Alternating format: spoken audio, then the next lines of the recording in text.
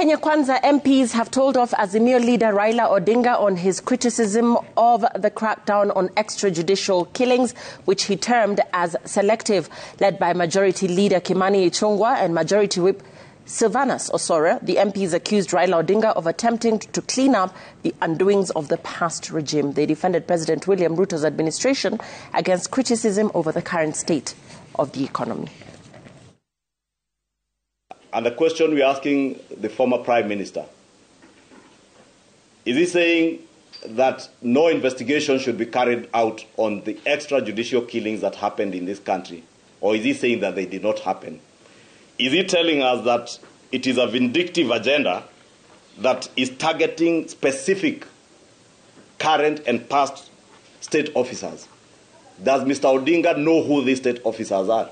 And that's what we're asking Mr. Odinga. If you know who these current or former state officers are, who may have been involved in extrajudicial killings, the right thing for you to do is not to castigate government for investigating, is to walk to the investigative authorities, relay the information you have, help them unravel the mystery of uh, bodies being fished out of River Yala.